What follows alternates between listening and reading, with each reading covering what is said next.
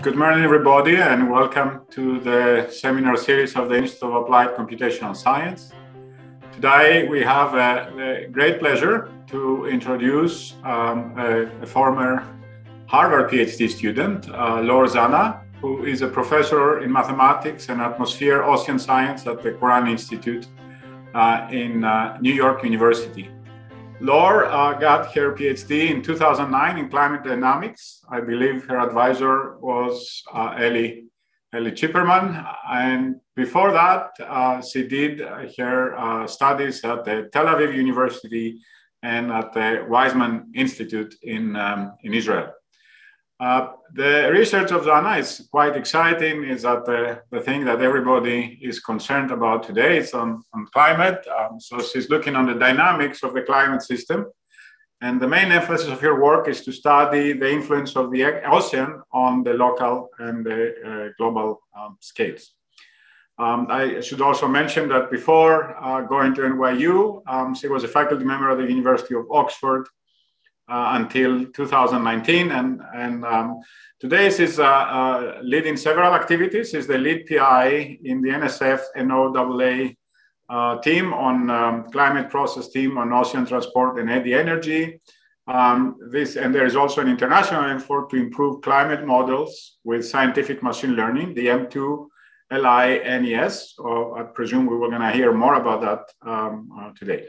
Laure has several awards, and I would like to mention one that uh, last year uh, she was the recipient of the Nicholas Fofonoff Award for the American Meteorological Society for exceptional creativity in the development and application of new concepts in ocean and climate dynamics. Laura, thank you for agreeing to give this talk. We're looking forward to your presentation. Great. Thank you very much, Petros, and, and for, the, for the very kind introduction. And thank you, everybody, for joining in. I'm uh, always excited uh, to give a talk back at Harvard again. I'm always sad not to be uh, in person, but but definitely very happy to be here. And uh, I know some of you were in the audience, Petros included, uh, a couple of weeks ago for the talk I gave in the applied math. So the kind of the thematic is is fairly similar, meaning how can machine learning or artificial intelligence can help um, you know advance climate modeling or what are the challenges um, it was more on the applied math side uh, last month where I only talked about equation discovery. So here, I'm really going to try to take a step back, try to think about how machine learning can help climate modeling, uh, but also what the opportunities and challenges are. And so there will be a, a lot of deep learning uh, aspect, which I didn't touch on uh, last time around. Um, uh, as I think I was asked, I'm very happy to take questions uh, along the way. It's a lot more fun uh, to get people, um, you know, uh, people's reactions and, and especially if there are comments and questions. And so before before I start, again, the most important thing here is a lot of the work uh, has been led by my former PhD student Tom Bolton, in Ox- who was in Oxford and now works for GitHub as a machine uh, learning engineer, and my current postdoc Arthur Guillaumin uh, at NYU. And so they really kind of led uh, a lot of the efforts that I'm going to talk about when we talk about the oceans. Okay, so let's start with the basic concept, right? I'm going to talk about climate modeling. And to understand what climate modeling means, we need to understand what a climate model is.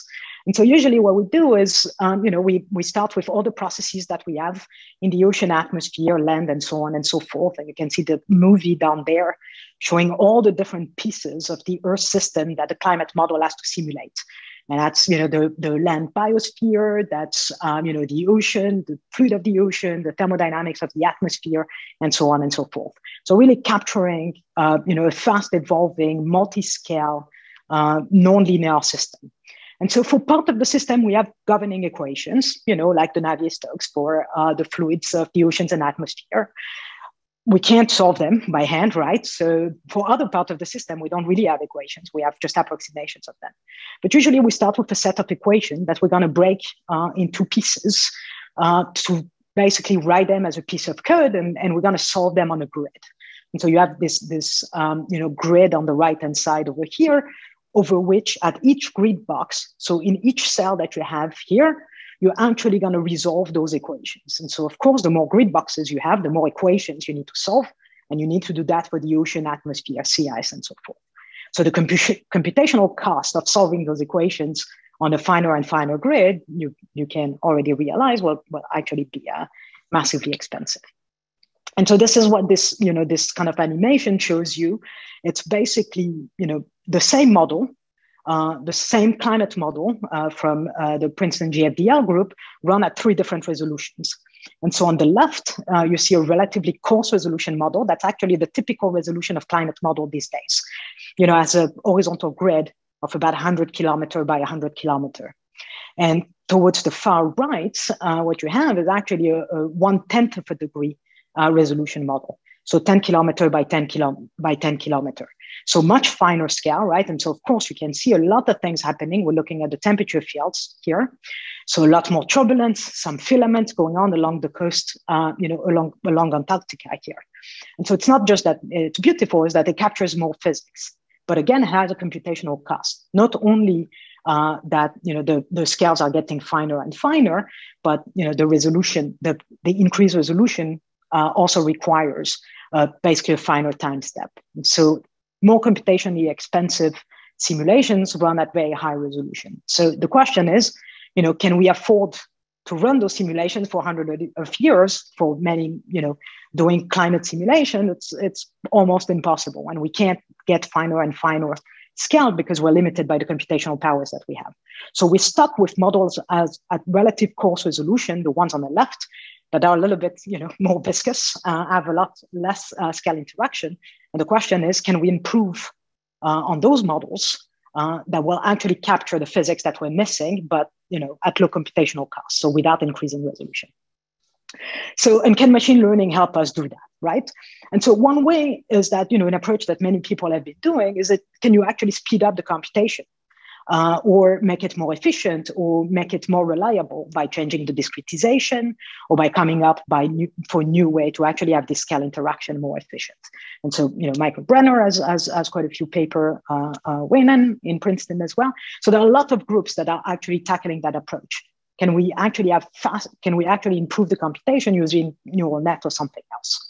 Here, what I'm going to talk about is a different approach, is, is kind of really focusing on the way we've been doing physics for a long time, which is can we represent the processes that are smaller than the grid box size of those coarse resolution model uh, in a way that is more faithful. And so this is what we're going to talk about today is can we actually improve on what we call parametrization? So the representation of you know small scale or subgrid processes that are that are occurring below uh, the size of a grid box of a given climate model that we have today.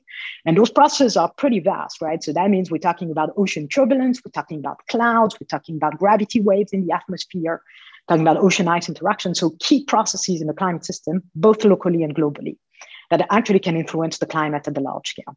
And all those processes are not resolved in the in current climate model. So we need to find ways to represent them. So far, we've been doing it by, you know, having conceptual physical models or physical math- or mathematical representation of them. But the question is, can machine learning help us actually capture better representation of those processes, given the amount of data that we have, either via high resolution simulations or some observations? Now, of course, it's not a given, right? This is a question.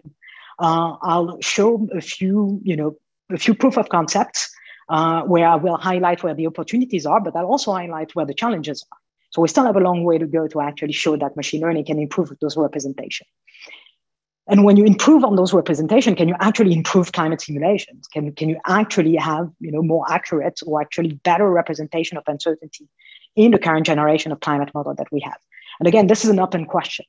Uh, but again, there are a lot of exciting tools and a lot of and, and a lot of new and exciting data that we can you know play with to actually try to address those questions. And that's why it's it's pretty exciting for us that you know it's part uh, you know of a big new collaboration that is funded by schmidt futures on really kind of tackling this problem of multi-scale machine learning in coupled climate models. Can we actually come up with better representations using machine learning and physics uh, of those subgrid scale you know parameterization and implement them in the current generation of global climate models uh, that we have from existing modeling centers around the world. And so I'll, I'll come back to that a little bit at the end. But that's the plan for today. You know, can we can machine learning help us, uh, you know, extract better representation of those small scale processes uh, in the climate system? And, and so why do we want to do that, right? And so to kind of try to give you a bit of an idea of why we're after this problem is that we have many climate models out there and you know and, and they're phenomenal right again as i said you know they, they, they solve the equations of motions and the governing equation for the ocean atmosphere sea ice and so on but they're uncertain and so if we look at uh, you know if we look at this top row over here we're looking at a range of the previous generation of climate models each one of the thin lines is actually highlighting uh, a given projections of precipitation in a given model now, the different colors are for different emission scenarios. So that, you know, we can't quite predict what we're going to do in the future. So usually we impose the few different scenarios and we look at how the different climate models will evolve. But what you can see is, of course, there is spread, right, in the projections. Uh, some of the spread is due to the fact that emissions are different, but some of the spread within the same color is just due to the fact that different models give you different answers. And if you try to understand where that uncertainty comes from, uh, so that would be the plot on the right.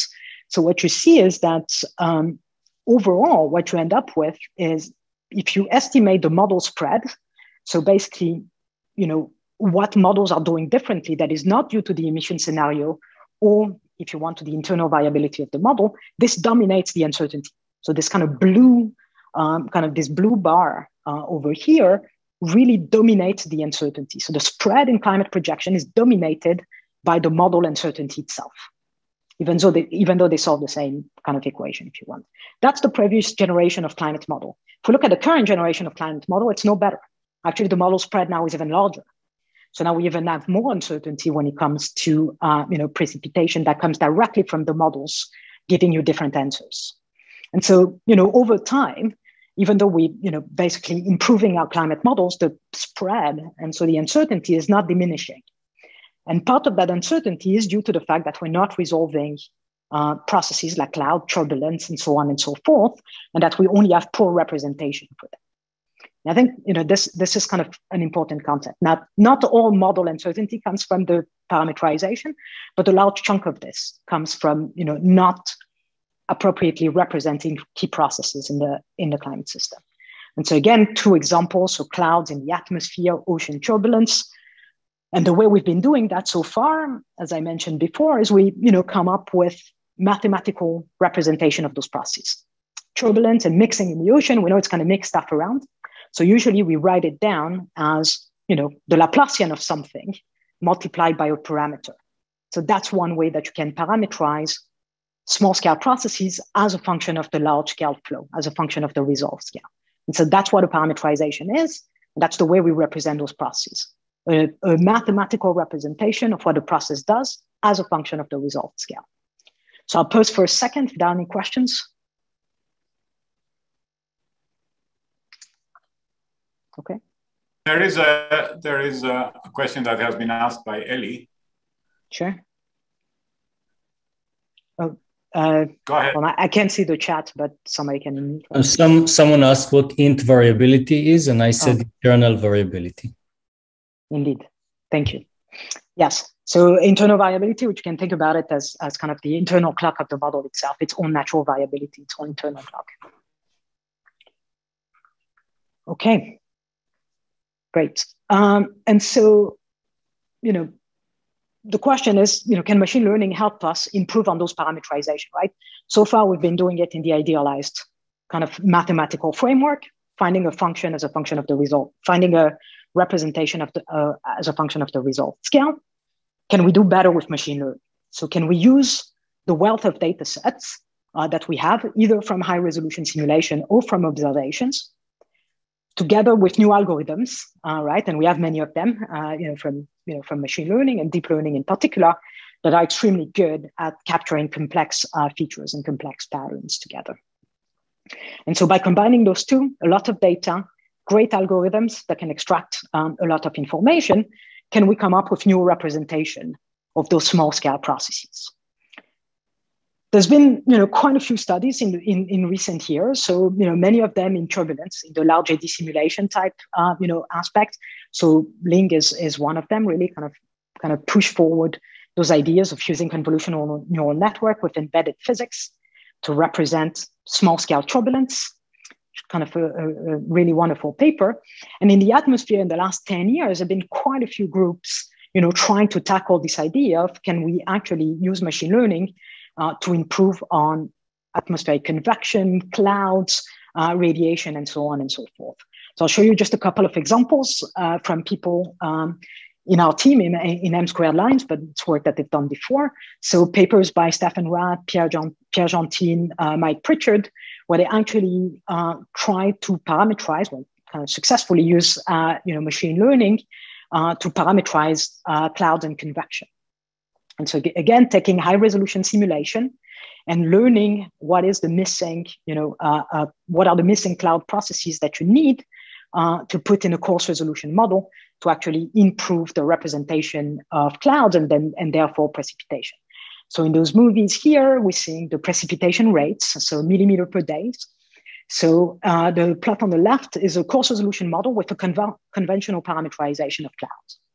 The one in the middle is the high resolution simulation, where of course you can see a lot more uh, you know, in, in the tropics, for example. And the plot on the right is the coarse resolution uh, with their neural network parameterization plugged in. So of course, what you can see is that you actually can recover the precipitation rate uh, of the high resolution, but without having the cost of running a high resolution model anymore, because you're running it at that low resolution with a neural network parameterization that only depends on the result scale. So that's that's really kind of exciting work that they've been doing in the last few years, um, you know, looking at cloud and convection. Another exciting, you know, uh, group uh, at MIT uh, with Janni Yuval and Paul O'Gorman have been actually thinking about the same problem, you know, atmospheric parameterization, but you know, really thinking hard about all those parameterization need to have conservation principles, right? We can't just go and input momentum and energy without bounds uh, you know, into a climate model. We, we actually need to conserve some properties. And so they built, um, you know, parameterization of different, um, you know, basically of atmospheric convection for the most part, but different parts um, of the numerical schemes that actually will, at the end of the day, conserve energy within the system. And so that's again an exciting advance where you can recover, you know, the property of a high resolution model with a neural network parameterization embedded in the coarse resolution run while conserving energy. So again, kind of remaining true to the physics. And that's absolutely critical. Uh, that we actually have conservation properties. If we want to do climate change experiments, we can't have drift in our models where we actually input, um, you know, energy or mass into the system for the next 50 years. So we need to actually think very carefully about this. So for the ocean, which is what I'm going to talk about, uh, you know, for the rest of the talk. Um, so my group has been working uh, quite a lot on understanding how, how ocean eddies, so kind of, you know, uh, turbulence on scale 10 to 100 kilometers should be parameterized using machine learning. And those are the example I'm going to show you now. So we're going to focus on kind of learning uh, the turbulent forcing from a high resolution simulation uh, that a coarse resolution model should have. And so this kind of plot over here is the surface velocity in an ocean model that is run at three different resolution. So on the left, it's a one twelfth of a degree, so about you know eight kilometer by eight kilometer resolution. In the middle, uh, it's going to be a quarter of a degree, 25 kilometer, 25 kilometer, and on the right, it's one degree. Uh, so very coarse and very viscous, and obviously you can see that there is no turbulence in that one degree uh, ocean model, but that's usually the one that we use for uh, actually for climate projections.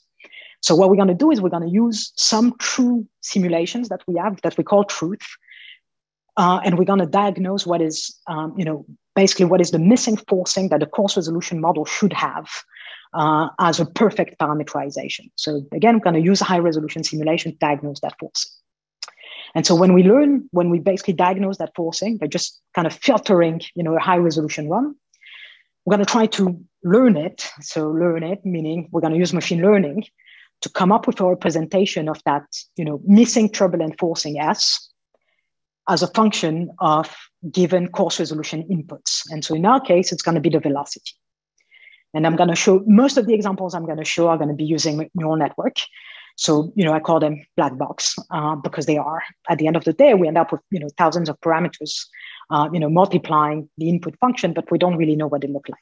But I'll show you a few examples with, again, you know, opportunities and challenges of what those neural nets can give us. And I'll briefly mention, you know, equation discovery, mostly because I gave a talk not too long ago. And but I'll still mention kind of the second approach that is quite different than, than deep neural nets, uh, because you know you might not capture as much of the features or as much of the skill, but actually you end up with an equation uh, where you actually you know can learn physics from it if you actually learn something right. And you know when it comes to interpretability for climate prediction, this is pretty critical that we actually learn something that we can interpret and understand. So then when we plug it into a climate model, we have confidence in our predictions, both for the current climate, but for the future as well. Um, so again, for us, this is absolutely critical uh, to have confidence in what we do.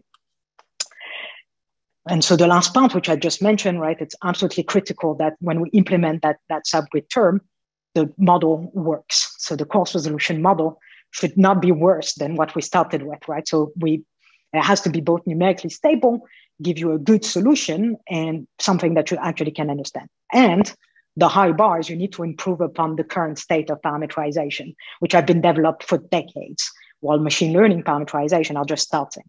So, so we're very much at the beginning here. And so, but those are kind of three, three critical aspects uh, that I'm going to focus on as we move forward. Any questions about how we uh, proceed, just to make sure? There's a question by Lily Zhang. Um, uh, Lily, please. Hi, yes. Um, my question Hi. is just how much more expensive is it to run the high resolution simulation? Yeah, um, yes. I mean, so that's actually an excellent question, um, and it will depend, of course, on you know the type of model that we're using. But here, just to you know give you a sense of scale, right? So we have, if we were only thinking about you know the horizontal scale, so you already have a factor of, of 10, right? So that would be 10. So that would be 10 squared, just in, in terms of the horizontal resolution. Usually you also need to increase the vertical resolution, uh, you know, also to first order, and then you need to also change the time step. So we're really talking about orders of magnitude more. I see. Great. Thank you. Sure. I, I don't see okay. any other questions. Please go ahead. Okay. Oh, Andrew, Andrew Ross. I'm sorry. Sorry. Um, Hi, Andrew. Hey. Um, yeah. So uh, I'm, I'm sort of thinking that I, as we're trying to learn coarse resolution information from fine resolution, um, sorry, fine resolution from coarse resolution information, sometimes it probably isn't possible to, to do that inversion problem perfectly. Sometimes there ought to be uncertainty. And I'm wondering if if uh, as you start to incorporate that uncertainty, will your internal variability start to come closer to, to dominating um, that spread of uncertainties?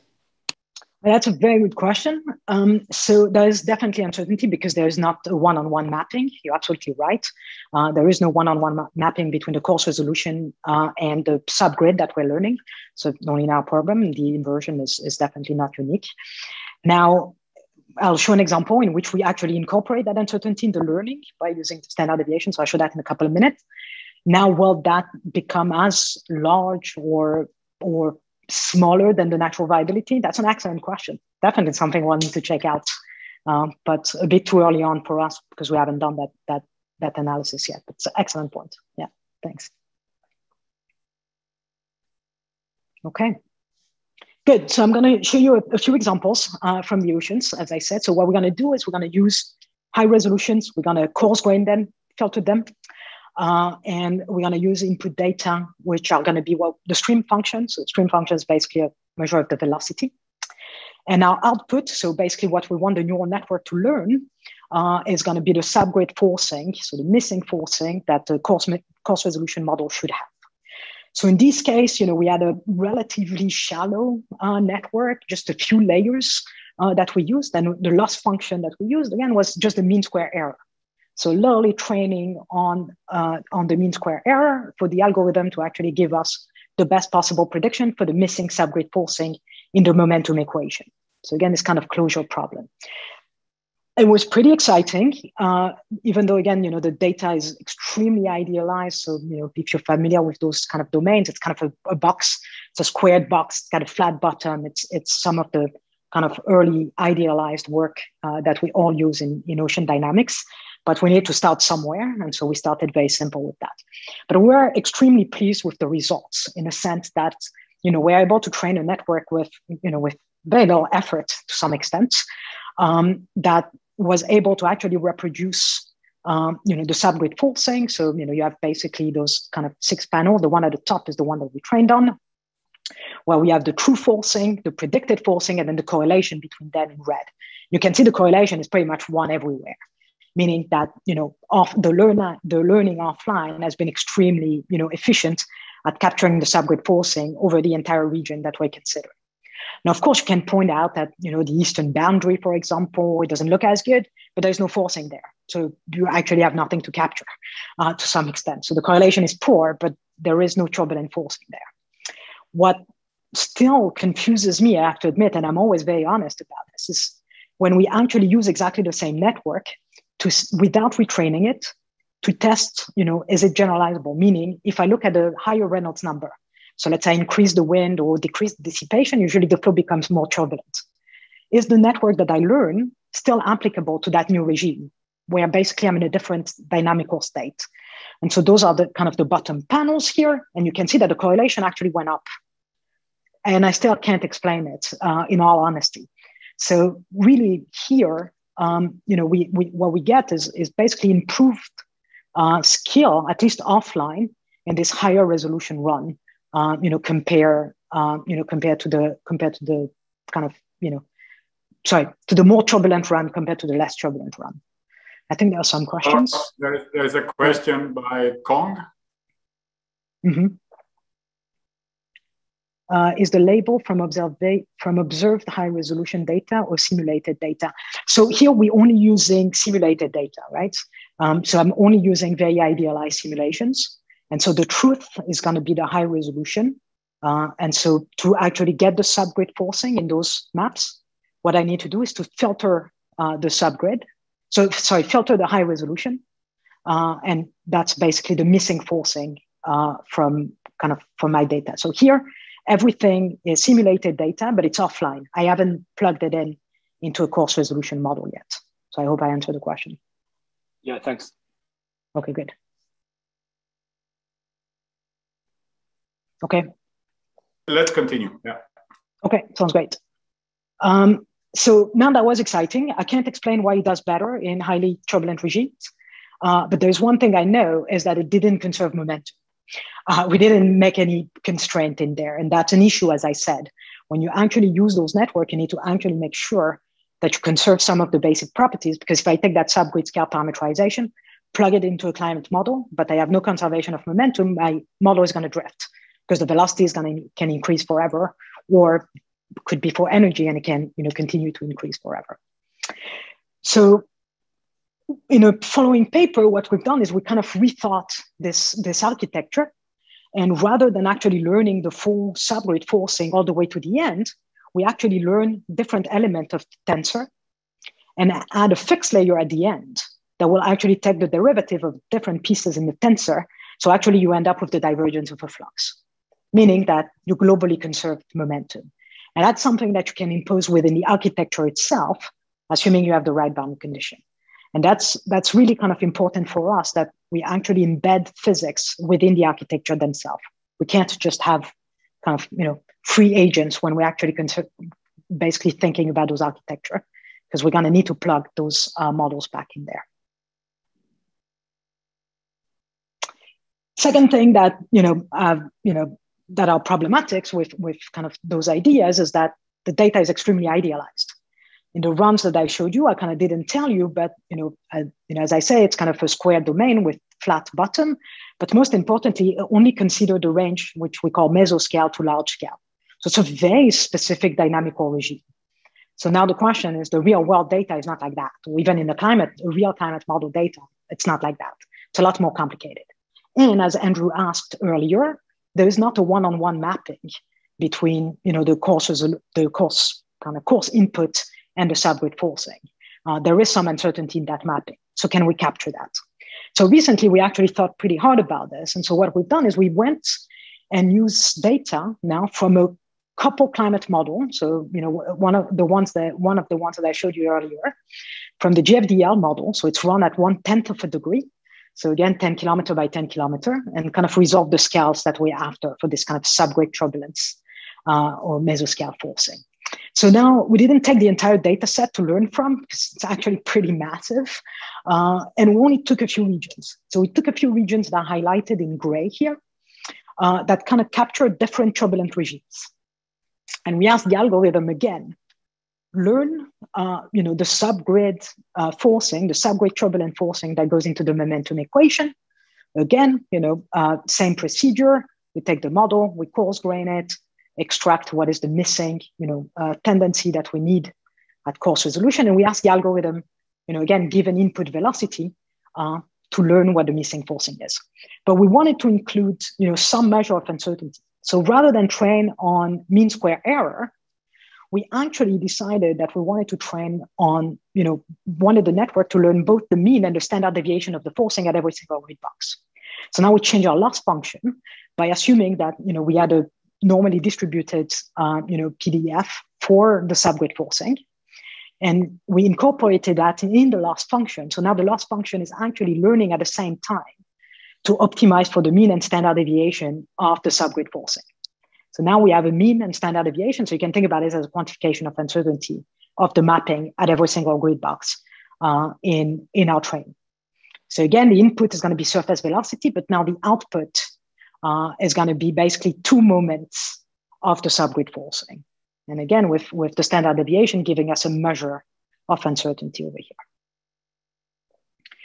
So I'll show you some results. We trained on uh, what we call PI control meaning that the simulation is run with a given CO2 level uh, that it was at the level of the pre-industrial state, so at 280 uh, part per million. So again, before we, we messed up with the climate. And so we train on kind of half of the data set and validate it against the other half. Uh, and again, if you remember, we only used just a few regions to learn from. So now the question, does it generalize over the entire ocean? Uh, you know, in, in that data set. And so this is what you see here. So uh, this is the R square. Um, so basically, if you have one, um, basically if it's light, that means that we the network is performing very well at learning offline the turbulent enforcing. If it's red, has very low performance. And so hopefully what you can see here is that overall, we actually get, you know, pretty good performance. So kind of capture about, you know, 70% of, of, you know, the variance almost everywhere. The places where we perform worse or terribly, if one would say, is along Antarctica, along Greenland. So in places where actually there is ice. Um, and there are a few reasons for that, right? So over there, the interaction is quite different between the ocean atmosphere uh, and the sea ice. So the fluxes are quite different, and we only trained on regions that were away from the ice. So that's one of the, you know, that's one of the reasons. So the regimes are quite different, and so we didn't train on that. The second thing is you can see we high, we kind of you know shaded in gray along the continents, um, and there we didn't touch anything along the boundaries. Again, because during the coarse graining, you're missing out quite a few data points, and we actually don't know really how to deal with the boundaries yet. We have a few ideas, but it's unclear. So when you coarse grain, then when you learn and you try to apply your filter and you're stuck with a boundary, how do you deal with that? So that's one of the key challenges that we face as well how to actually calculate the subgrids when you have boundaries, and then how do you actually apply your convolutions uh, when you have boundaries. And so that's one of the key challenges that remains when you move away from those idealized domain where everything is nice and you know you're on a Cartesian grid and you have no bathymetry. Here we have complex geometry. We're on a sphere as well, which add its own uh, twists. Um, but you know those are some of the challenges we're facing.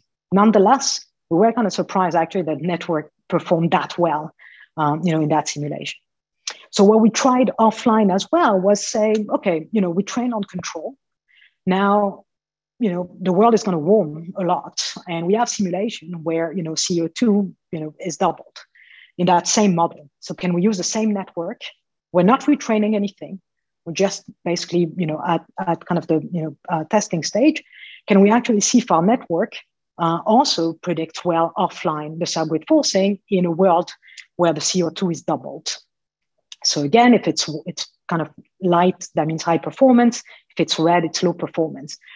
I mean, it's kind of almost hard to hard to distinguish if there are any differences, but they are, by the way. So the network still continues to perform very well, even though, and we tested that, the amount of turbulence changes between those two simulations, changes by about 50% uh, in some of the key regions.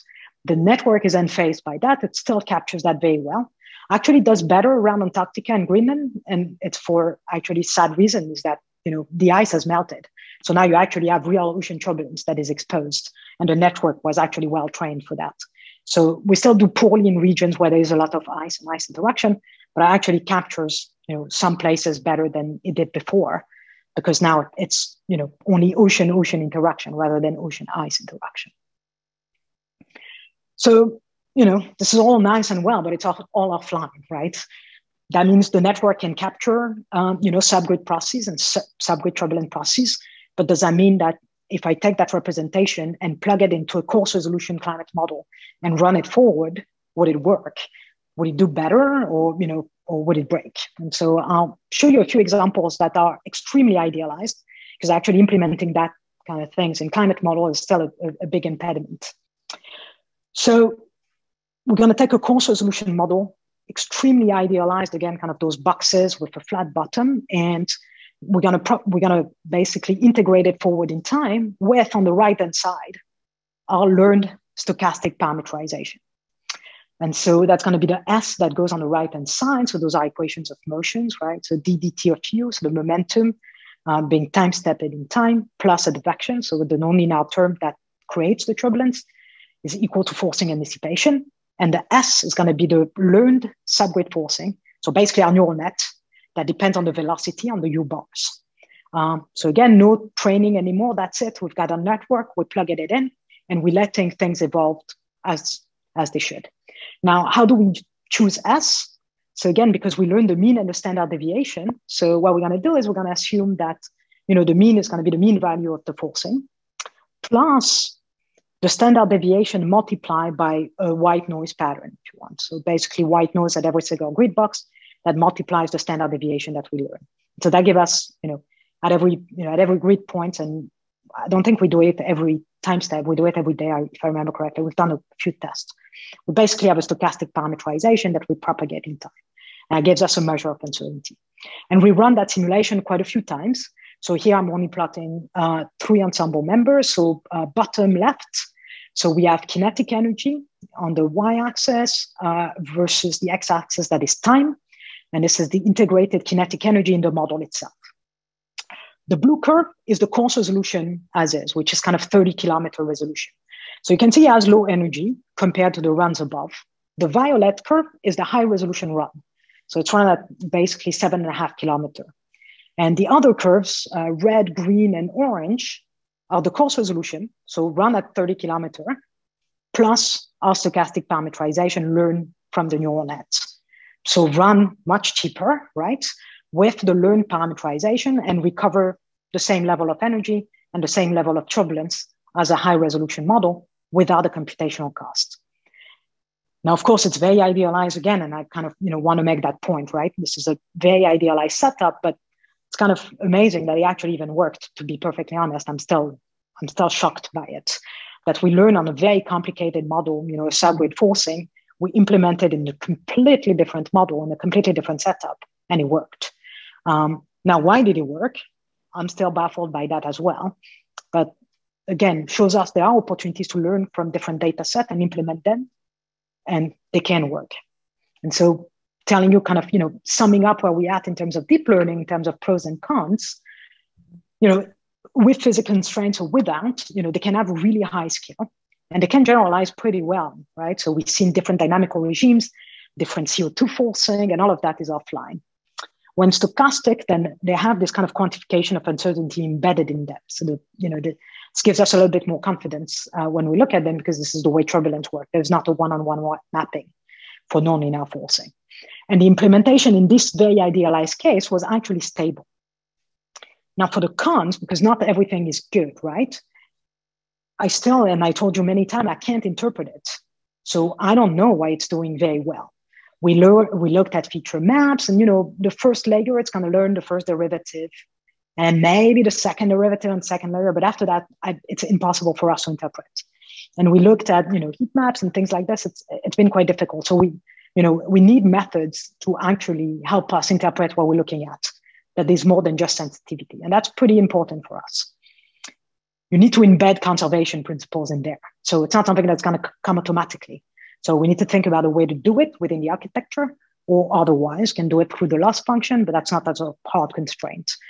And it's not going to work all the time because we have open boundaries in the climate system. We've got exchanges between different mediums. So we need to think about this. And again, it's something we, we're all scratching our head on. Implementation, I show you a, a run that was stable with the stochastic parameterization, but that's not always the case. So some of the atmospheric run that I showed you before, they actually had a lot of issues with stability. We had issues with stability when we implemented it without the stochastic part. Uh, the model went completely off rails uh, very quickly. Um, didn't actually blow up, didn't become numerically unstable, but, but it was highly unphysical. So, you know, all those things we need to think about, and this is all in an idealized settings. When you go to a real climate model, you know, all bets are off. What do you actually work? It's going to interact with different parts of the system. Um, and how do you implement it? It's not obvious when you have, you know, thousands of parameters built into a convolutional neural network. How do you plug it in into our old Fortran climate models? So those are actually real challenges on, you know, many aspects, from the physics all the way to the kind of software, um, you know, software engineering aspects. So I have a little bit of time, I believe. So if there are any questions on that part before I kind of you know move on to a second part or kind of semi-second part. Unfortunately, I cannot raise my hand. Um, so You're the host. Yes, a question. Uh, so when you do the uncertainty quantification by imposing this mean and standard deviation, you're making the assumption that the, the output is normal, right? So isn't it a little bit not uh, expressive enough to capture, or especially if you have high dimensional data like this? Or Oh, excellent point. I actually forgot to say it. Yes, it's actually a very strong assumption. We're assuming that it's normally distributed, and we've actually plotted the residual, and we show it's not. So we definitely made an assumption because it was, you know, we needed to try because actually I don't think it's been tried before in that context. Uh, and then of course, when we plotted the residual, we saw that, you know, skew and kurtosis, of course, were coming in quite quickly. So now we're actually thinking about ways um, to avoid having that assumption that that we have a Gaussian distribution indeed. Yeah, excellent question. Yeah, thanks for that. Lily had also a question. Oh yeah, this was um uh the results from back a few slides. Okay. Um regarding can try the, can you tell me? Yes, right here. Yeah, okay. Um I was just curious if um, you had tried or if you had seen what happens when you look at neural net the neural network prediction for a lower turbulence setting than what was seen during training. Yep, thanks. Uh, we actually did try. Um, yeah, it's a great question. Um, it performs a little less well. So the more turbulent it is, the better it does which still I have to admit baffles me. Uh, so you know, our only kind of you know possibility was that you know it does you know because we train it on regions where there is a lot of turbulence, it might actually do better than in regions where it's less turbulent because different dynamics like waves are taking over, and you know it wasn't well trained on those regimes. So that's my only hand wavy uh, explanation. Andrew, Right. Uh, so I guess along those lines, is it is it possible that the inherent predictability of different phenomena changes at different turbulences? And also, um, have you evaluated sort of whether, like, when it's generalizing to a new domain, it's possible that it's sort of seeing inputs that look nothing like what it's seen before, but it's also possible that it's seeing inputs of a type that it's already seen, but just in different proportions. Um, and in that case, we might expect it to generalize well, whereas in the former, we might not. Have you, yeah, investigated that? Yeah, uh, excellent point. I think this is something we want to investigate because that was a hunch, but we never verified it. Yeah, excellent point. Thanks. Okay, okay. I think we should not interrupt you more, Laura. Okay, sounds good. Well, thanks everyone for the questions. Yeah. Mm-hmm. Yeah. yeah, please, yeah. Okay, good. So for the last part, it's actually a little bit quick, but I, I kind of, you know, I couldn't help myself to show it uh, because I really enjoy working on that these days. Is that, you know, I mean, you know, I've talked about deep learning now for the last 30 minutes. But the other kind of parallel approach that we've been using that I talked about, um, you know, at the applied math meeting was kind of interpretable equation discovery. So now rather than just having a very deep network, um, we're going to try to actually learn exactly the same forcing, the same subgrid forcing that we're missing from a coarse resolution model. But rather than have a deep network, we're going to actually try to learn an equation for it. Meaning we're going to give the algorithm a set of basis function, and we're going to ask the, algorithm to prune that library of function to give us the best, uh, you know, set, uh, the best equation with the weights that will actually represent the subgrid forcing that we're missing. procedure is the same, right? We're going to take the high resolution run. We're going to coarse grain it, um, you know, to a coarser resolution. And now we're going to give the, a library of function to the algorithm. The algorithm is a Bayesian sparse regression. So basically it's relevance vector machine, uh, you know, uh, uh, going back to Tipping. And we give about 200 functions. So the functions, of course, are calculated from the data, obviously, right? So I'm not giving it real, real, real equations, but we're calcul- calculating it from the data. So we're giving it velocities, temperatures, gradients, uh, second order derivatives, you know, some nonlinear functions. Uh, and we also try to trick it. You know, we give it some noise patterns, try to see, you know, if, if you know, uh, we can mess mess with it. Um, and then basically, again, what Bayesian, uh, you know, a sparse Bayesian regression is, is a literally going to prune through that set of, of basis function and give us a representation that is done over here. It's going to be a linear combination of our basis function, so the phi multiplied by weights, because it's again Bayesian regression. The weights are assumed to be Gaussian and they have some kind of uncertainty associated with it. It will select the basis function based on a threshold uh, that we give it, uh, you know, that, that, that we're asking it, um, you know, the algorithm to actually, you know, uh, uh go through to select those sets of function. And in this case, of course, we're gonna, we, we're making a choice, right? After how many functions we want to cut, you know, our expressions, you know, we cut after just a few um, you know, just a few uh, a few expressions. We could capture about you know 50 to 60 percent of the variance with just a few basis functions. I'm not going to go into the details, but you know the the weights uh, that we're multiplying that that you know sum of you know functions were very close to one another. So we just you know basically took the mean uh, and assumed they were pretty close to one another, and we were able to rewrite that function as a symmetric stress tensor which is what, what we expect for turbulence actually. So, you know, the algorithm was able, so was able to actually learn the symmetric stress tensor, uh, you know, overall by, by literally kind of giving it that set of basis function. And so here for us, really kind of, you know, the, the interpretable part is that we ended up with, with a set of function that we could explain physically because it relates to a lot of other work that has been done by my group and others uh, where we show actually how the stretching and shearing of the flow uh, flux momentum in and out, uh, depending on the instabilities that you have. And so this is kind of, you know, one, one approach uh, that we went for to kind of, you know, go in parallel to the black box machine learning that becomes pretty tricky uh, to interpret at the end of the day. Now, of course, you know, we make a, we make a criteria, right? if you only take a few function and you can rewrite it in this beautiful sense and you capture most of the variance, then that's great. But if you need lots of them, then you actually gain nothing over the net over the neural network. Just again, that's a show and tell. If we again plug it in into the same kind of you know system, the coarse resolution, idealized setup, plug in you know uh, machine learning, deep learning kind of parameterization versus the equation discovery, they both do quite well. Uh, so you know the orange one, sorry, no, the red one uh, is going to be the equation discovery that we found. The deep network is the pink one, and the high resolution is the cyan one. So the neural net does a better job uh, than the equation discovery, and mostly because actually we had numerical uh, stability issues, which I think we fixed now. Um, but nonetheless, the advantage with the equation discovery is that we could actually explain the physics, uh, which is a lot of fun for us and, and open opportunities to actually discover something new from the data for different processes again, like clouds or you know waves and so on and so forth for processes we don't have. Okay, so you know I'm going to try to sum up and give you a you know a brief overview of our you know uh, M²LInES project uh, in a few seconds, and so hopefully it should be uh, should be time for questions. So you know parameterization of result processes are, are going to be in demand for decades to come. Uh, because we need to make projections for you know hundreds of years with ensembles um, so, you know, we, we kind of reached the limit of what we can do with the computational powers that we have. So we're going to continue to search for subgrid parameterization of processes. And here the question is, you know, can machine learning help us? Can it improve on domain knowledge uh, or not? I showed you a few examples, right, with exciting results, but also plenty of challenges ahead.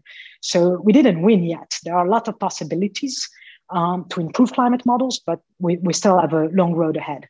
They have to be interpretable. They need to embed conservation, you know, but you know, it, it still gives us an opportunity with new data, and new algorithm to actually learn new physics.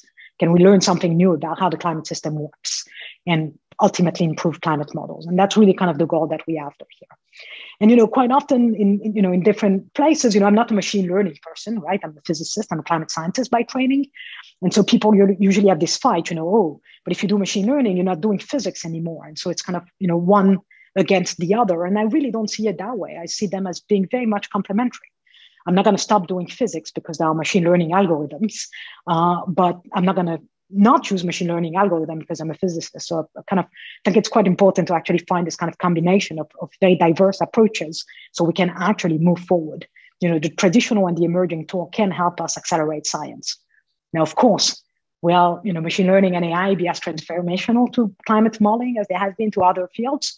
I think it still remains an open question, but you know, I hope there are many exciting opportunities and possibilities for this to happen and we have to explore it. And so, so you know, there are two things coming up. One is a you know a Kavli Institute for Theoretical Physics uh, on machine learning and and, and climate uh, that is coming up, and so you know that we're organizing in the fall. So it's a long program. There's part conference and part it's kind of discussion with people for weeks. And so you can still register, and that's something where we hope to bring actually people from physics and machine learning, kind of talk to each other and try to move forward. And as Petros mentioned, so we have a new collaboration uh, funded by Schmidt Futures and Squared Lines to really tackle different pieces of the climate problem. And so really it's bringing together machine learning experts, domain experts in ocean, uh, sea ice and atmosphere dynamics and climate modeling centers. So, you know, NCAR and GFDL in the US and IPSL in France. So three big modeling centers uh, for us to really kind of learn from data. And so we're going to rely on the Pangeo platform, which is kind of really a, a, a wonderful infrastructure um, for us to really have a, you know, a cloud unified platform over which all of our different teams can really access those new data set, those high resolution simulation, where each pieces of our project can actually learn from the data, exploit that data as efficiently and as collaboratively as possible, so we can extract as much information as possible to learn those subgrid processes, to learn those kind of, you know, cloud process. So to learn uh, about cloud processes, mixing and so on and so forth.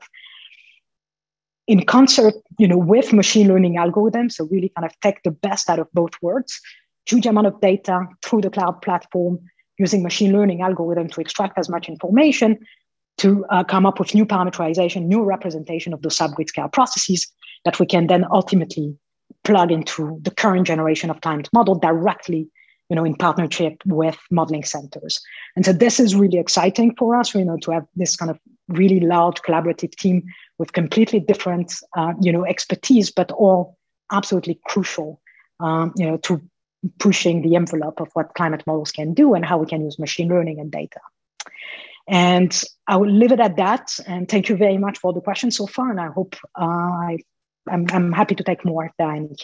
Thank you. Thank you. Thank you very much, Laura, for this wonderful talk. Um, I would uh, uh, suggest that uh, you please raise your hand if you have a question.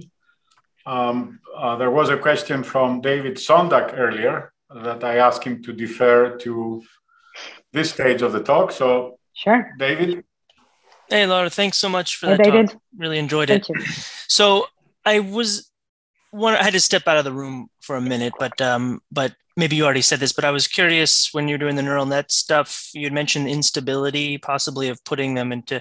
Are you thinking of um, like ill conditioning of the of the problem? If you have like a a very well you know a very well trained model, but the insta- in ill conditioning of the the RANS equations, for example. Yeah. So yeah, there are quite a few possibilities, right? So here, for example, you know, we're learning something that is anti-viscous if you want. Um, so you keep you know fluxing momentum into something and if there is nothing to stop it uh, you know it might continue for a while. And so that can be a problem. I think that's why the stochastic approach help us because it actually has a damping feedback so it stop it. Second aspect is which is something that other people have seen is that you know you learn on very fast processes. So you might actually might learn you know basically the fast growing modes uh, as part of your network. And when you implement that into a, you know into your numerical simulation, that coarse resolution, you might actually break the CFL criteria. Hmm. But you haven't actually thought about it because you know we do it we do everything offline. Mm. And so those are two possibilities. And it's always hard to know which one. right. Yeah. All right. Thank you. Sure. Um, there is a question from Swale. Oh, thank you. This was actually a very nice talk, uh, especially the last part where you said it's important to do machine and physics together because empiricism has had its place, right? Uh, it has always Absolutely. had its place in physics, and that's all. Absolutely, absolutely. So, I was actually wondering. I mean, you're using Navier-Stokes in your fluid mechanics, which is as chaotic as it gets.